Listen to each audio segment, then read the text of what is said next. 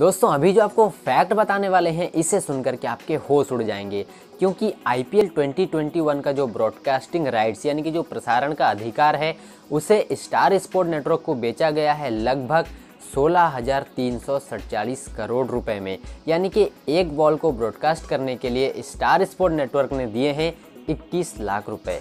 सुनने में भले ये अनबिलीवेबल लग रहा है, लेकिन ये सच है। और ऐसे ही और फैक्ट जानने के लिए हमारे चैनल को सब्सक्राइब कर लीजिए।